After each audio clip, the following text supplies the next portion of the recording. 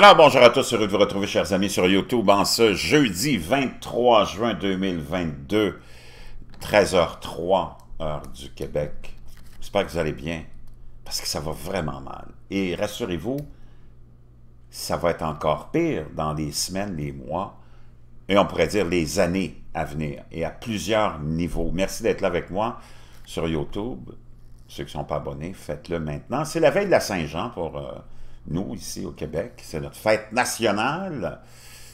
Donc, j'en profite pour souhaiter une bonne fête nationale aux compatriotes québécois de toutes les origines, probablement. Mais habituellement, les fêtes nationales, ça s'adresse plus aux, locaux, comme on dit.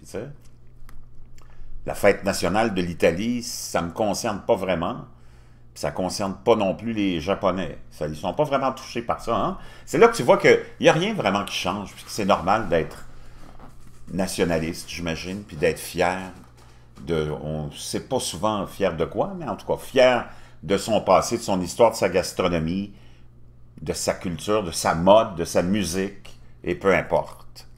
Pendant ce temps-là, on est distrait avec, naturellement, les médias, traditionnel qui nous distrait des spectacles continuels hein, euh, à longueur de journée. Les informations, c'est devenu du spectacle aussi. Les réseaux sociaux sont là pour nous distraire. Mais il y a une réalité qui ne change pas. Et c'est que, qu'on le veuille ou non, on s'en va vers un contrôle total de l'individu dans la société moderne, contemporaine, futuriste dans laquelle on est. Et les outils sont là pour que l'élite, nos gouvernements, la grande élite mondiale, ce club select, qui tranquillement a mis ça en place pendant qu'on était distrait, toutes sortes d'idées, de sujets, la plupart du temps, pas vraiment importants, mais qui sont là pour nous diviser, nous, la population. Ces gens-là sont unis, hein, l'élite, et avançaient à petits pas ce projet de grand contrôle, on en a parlé souvent, beaucoup de gens en ont parlé au fil des décennies, sans savoir vraiment trop c'était quoi, mais là on le sait de plus en plus. L'Internet a été créé par, hein, des, pas, par des, des individus venant de nulle part, par des gens qui avaient conscience de ce qu'ils faisaient dans les années, on parle même des années 60 ou presque 70, Juste pour vous donner une idée, j'ai trouvé un petit article très simple pour vous euh, parler de l'histoire d'Internet. Ça vient du Guardian. Comment Internet a été inventé en 40 ans? Internet est passé d'un réseau de communication militaire à une vaste cyber ou à un vaste cyberespace mondial. Et tout a commencé dans un café en plein air californien. Au royaume des applications et des licornes, Rosotti est une, euh, rareté. Ce café en plein air au cœur de la Silicon Valley se tient au même endroit depuis 1852. Il n'est pas euh, perturbateur, il n'est pas à l'échelle, mais depuis plus de 150 ans, il a fait une chose, il a bien fait, il a donné aux Californiens un bon endroit pour se saouler. Au cours de sa longue existence, on parle du café où ça a été créé, mais il semble cela ne semble pas un endroit probable pour un acte majeur d'innovation. Mais il y a 40 ans, en août, dernier, une petite équipe de scientifiques a installé un terminal informatique sur l'une de ces tables de pique-nique et a mené une expérience extraordinaire. Au-dessus de gobelets en plastique remplis de bière, ils ont prouvé qu'une étrange idée appelée Internet pouvait fonctionner. Internet est si vaste et informe qu'il est difficile d'imaginer qu'il ne soit inventé. Il est facile d'imaginer Thomas Edison inventant l'ampoule, car une ampoule est facile à visualiser. Vous pouvez la tenir dans vos mains et l'examiner sous tous ses angles d'Internet, et tout le contraire, il est partout, mais nous ne le voyons que par bribes. Internet est comme le Saint-Esprit, il se fait connaître en prenant possession des pixels de nos écrans pour manifester des sites, des applications, des courriels, mais son essence est toujours ailleurs. Cette caractéristique d'Internet le rend extrêmement complexe, blablabla, blablabla. Donc, ces gens qui ont inventé son euh, Internet, hein, ont travaillé dans des endroits aussi variés que le réseau informatique parrainé par le gouvernement français, Cyclade, le Laboratoire national de physique d'Angleterre, l'Université d'Hawaï et Xerox Mais le vaisseau mère était la branche de recherche richement financée du département américain de la Défense, l'Advanced Research Project Agency, la fameuse ARPA, qui ensuite a changé son nom en Defense Advanced Research Project Agency, la fameuse DARPA et ses nombreux sous-traitants. Sans ARPA, Internet n'existerait pas en tant qu'entreprise militaire. ARPA avait une motivation, une motivation scientifique militaire pour créer Internet. Il offrait un moyen de mettre l'informatique en première ligne. En 69, ARPA avait construit un réseau informatique appelé ARPANET qui reliait les ordinateurs centraux des universités, des agences gouvernementales et blablabla.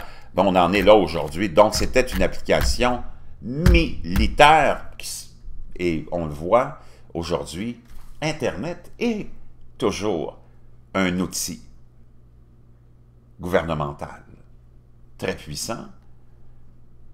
Et maintenant, comme je vous le disais, avec toute la distraction qu'on a, avec toutes les nouvelles en continu, avec toutes les divisions qu'on peut, de plus en plus, hein, il y a de plus en plus de divisions dans nos sociétés dû à, ce réseau, Internet et euh, les réseaux sociaux. On avait besoin de ça aussi pour faire avancer ce grand programme de surveillance totale de l'individu et de l'amener dans cette espèce de d'entonnoir où vous êtes obligé, coincé maintenant de plus en plus, pour avoir des services, vous êtes coincé et vous êtes obligé d'avoir Internet et de fonctionner avec Internet pour avoir un rendez-vous gouvernemental, pour avoir un service gouvernemental, et maintenant les entreprises privées le poussent de plus en plus.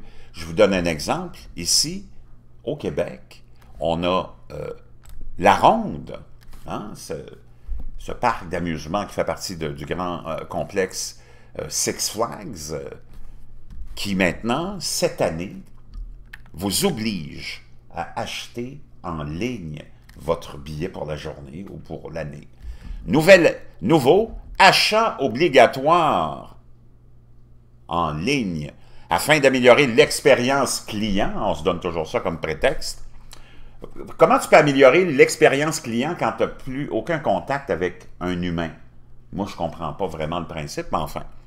La ronde passe au paiement en ligne. Désormais, vous devez acheter tous vos produits, la ronde en ligne, avant votre visite au parc d'amusement. Moi, je ne sais pas, mais ça me semble... Ça, tu as, des gens, un groupe dans la société de consommateurs qui trouvent ça extraordinaire. Mais je ne sais pas, quand tu regardes plus loin que le bout de ton nez, c'est vraiment pas une bonne nouvelle. D'abord, tu es obligé de payer une carte de crédit. Primo, on sait exactement ce que tu vas faire. Si je paye cash, ça reste anonyme, il n'y a personne qui va savoir que je suis allé à la ronde ou peu importe. Et ça fait que tu es obligé d'avoir Internet, un système, soit avec ton téléphone portable, ton ordinateur, payer en ligne, mettre ça sur ta carte de crédit. On t'oblige à fonctionner en ligne et de plus en plus, c'est ce qui est inquiétant, on s'en va. Et même les services gouvernementaux nous obligent à fonctionner en ligne. Il y a 40 ans, je ne sais pas si on y avait pensé, c'était pour euh, aboutir à ça, mais nos politiciens, le système mondial s'est arrangé pour l'utiliser. Hein? Et pour l'utiliser à ses fins. Puis ses fins, c'est le contrôle. Et là, on s'en va, on le voit, de plus en plus les banques centrales de nos pays respectifs proposent et sont en train de construire une monnaie numérique bientôt. C'est une question de temps. L'argent physique disparaîtra. Donc, c'est pas. Il ne faut pas partir en part et penser que, bon, on, va pouvoir saisir notre argent, ou ils peuvent le saisir maintenant, ton argent, c'est pas un, problème pour eux. On a vu le gouvernement du Canada saisir plein de comptes pendant les dernières euh, manifestations qu'il y avait eu à Ottawa, vous en rappelez, de gens qui ne voulaient pas se euh, écouter euh, les, les, recommandations du gouvernement puis quitter Ottawa il y a de ces gens-là qui ont été identifiés, pour on a saisi leur compte en banque. Donc, ça, c'est pas euh, vraiment, c'est pas là, le, problème n'est pas là. Le problème est que ça y est, on s'en va, puis on vous amène exactement où on voulait. Et là, tu le vois, il y a de plus en plus de gens qui, d'entreprises comme Amazon et là maintenant American Airlines qui s'en viennent même avec la reconnaissance faciale comme méthode de paiement ou même méthode d'embarquement. Et, on s'en va vers ça, c'est ce qui est le plus inquiétant. Et ça, c'est l'Associated Press qui nous rapporte ça ce matin. Airlines, hein, American Airlines teste le scanner facial à l'aéroport DFW. American Airlines a déclaré mercredi que les clients avec pre-check peuvent passer les points de contrôle de sécurité à l'aéroport international de Dallas-Fort Worth avec une analyse faciale et une application téléphonique au lieu de montrer leur permis de conduire ou leur passeport. La compagnie aérienne a déclaré qu'elle avait l'intention d'étendre le test qui a débuté mercredi aux aéroports de Miami, Phoenix, Washington, DC et ailleurs plus tard cette année. Donc, vous le savez, tout le monde va suivre. En Inde, on a déjà un système de biométrie. Et tu avais besoin de, pour tout établir ça, on avait besoin de la 5G.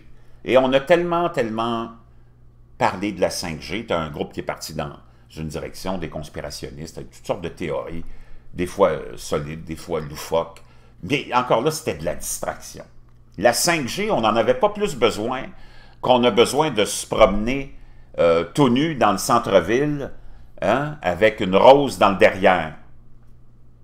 La deux, troisième génération, c'était parfait pour nous. On n'a pas besoin de plus que ça. Qui avait besoin de la 5G? Tout ce monde-là. C'était impossible de mettre tout ça en place sans la 5G.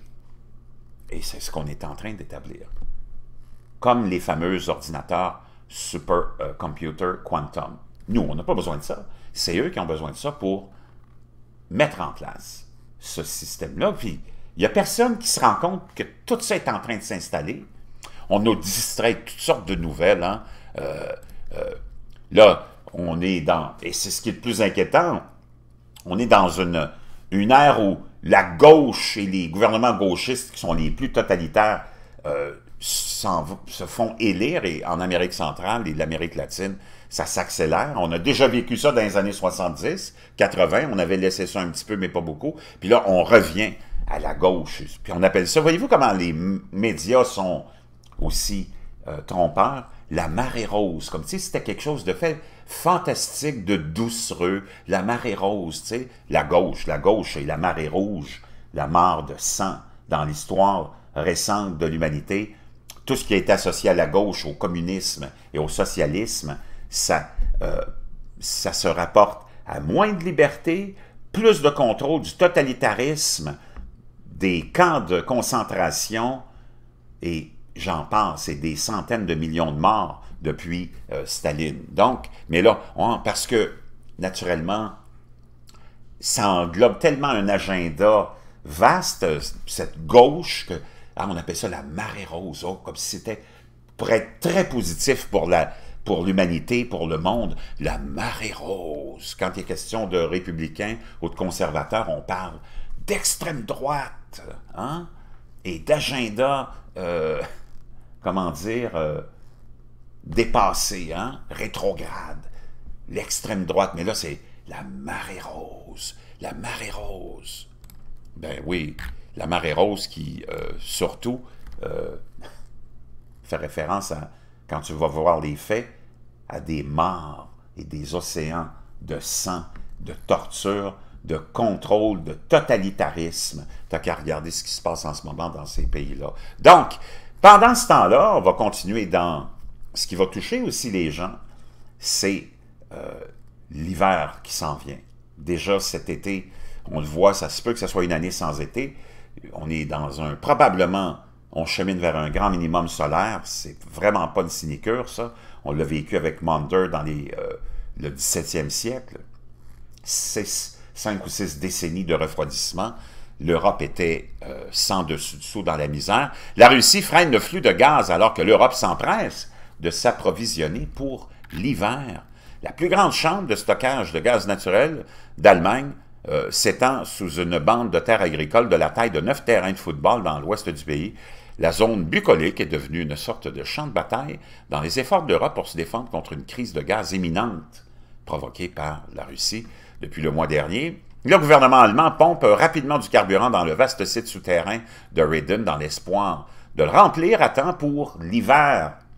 Lorsque la demande de gaz augmente pour chauffer les maisons et les entreprises, la scène se répète dans les installations de stockage à travers le continent, dans une joute énergétique entre l'Europe et la Russie s'est intensifiée depuis le fameux euh, conflit. Dans le dernier signe que Moscou semble déterminé à punir l'Europe pour ses sanctions et son soutien militaire, à, vous savez qui, Gazprom, le géant russe de l'énergie contrôlé par l'État, a réduit la semaine dernière de 60% la quantité de gaz qu'il livre via Nord Stream 1, un pipeline critique desservant l'Allemagne et autres pays. Il n'est pas clair si l'étranglement est un précurseur d'une coupure complète.